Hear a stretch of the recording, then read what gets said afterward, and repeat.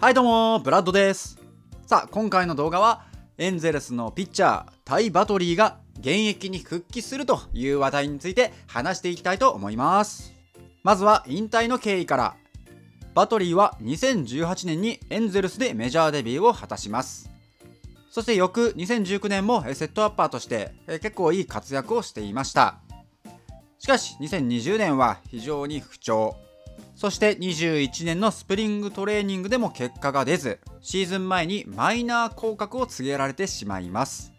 しかし2021年の4月いざマイナーの施設へ向かうという直前に引退を発表。その理由としてバトリーは野球に対する情熱や愛情がなくなってしまったと。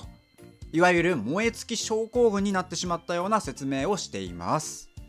しかし今年の1月になって突如現役復帰を表明しました。スプリングトレーニングにも参加していまして今後はロースターに入って試合にも参加できるようになるだろうと言われています。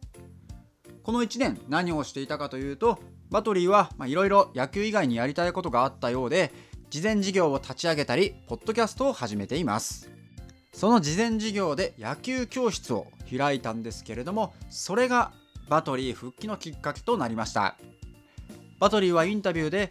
子供たちが生き生きと野球しているのを見て自分の中になかったものに火がついたと語っています。バトリーは復帰に向けてここ3ヶ月非常にハードなトレーニングを積みもうすでに実戦に入れるほどの仕上がりを見せていると言われています。実際マドン監督もピッチングを見たようなんですけれども感銘を受けたと非常にポジティブな発言をしているので期待していいんじゃないかなと思いますね。そもそもこのタイバトリーどんなピッチャーかというと身長が198センチ体重は108キロを誇る右の典型的なパワーピッチャーです。フォーシームは2019年の記録ですが平均で156キロ。そして一番の武器であるスライダーさらにチェンジアップを投げ分けます。正確ですが気持ちの切り替えがうまいです。大事な試合でリリーフに失敗しても周りの意見声は一切聞かない。俺は俺のやり方でこれまでやってきたからそれを貫き通すと。いい意味で開き直って翌日ケロッとして相手を抑える。そんなピッチャーです。なのでこのセットアッパーというポジション非常に合っていますね。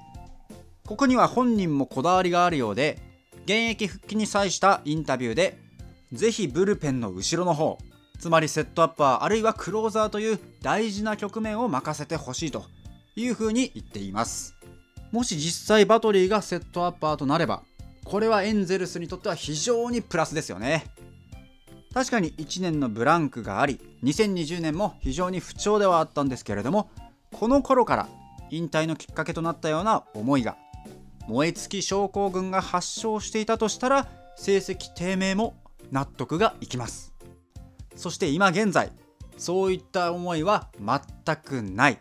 むしろ気力がみなぎっている。やる気に満ち溢れていると。いうことですので2019年の活躍を超える成績期待できますしカムバック賞なんかも受賞してくれると非常に嬉しいですね。今年で29歳気持ちを新たにして蘇った新生バトリーがエンゼルスにどんな貢献をしてくれるのか注目し応援していきましょう。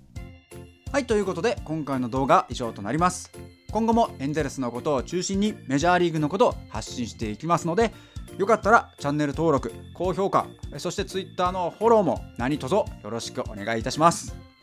それではまた別の動画で会いましょう。バイバイ。